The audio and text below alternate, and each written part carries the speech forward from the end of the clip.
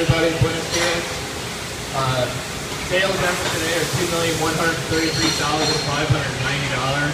We have four days left, uh, eighteen percent of the month. Right now we're at seventy-six percent budget, so we're about six percent behind right now. Uh, how's this week look? Pretty good. Okay.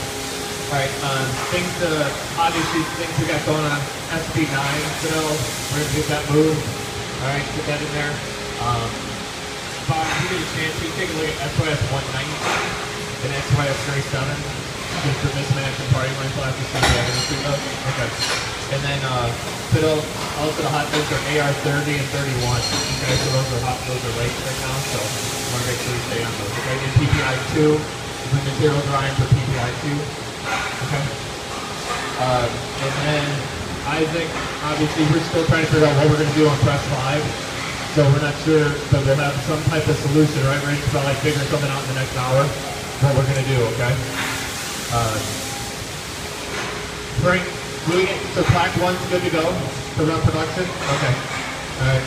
And SDI 78 will be coming back. So we're going to get that back real quick.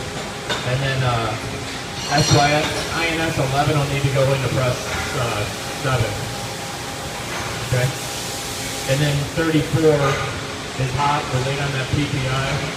Uh, as soon as we get it, well, once we figure out how we're going to fix the press, you know, that'll be on the list, okay? All right. All right. We're lucky enough to have Cheryl do pictures today. So, come on up.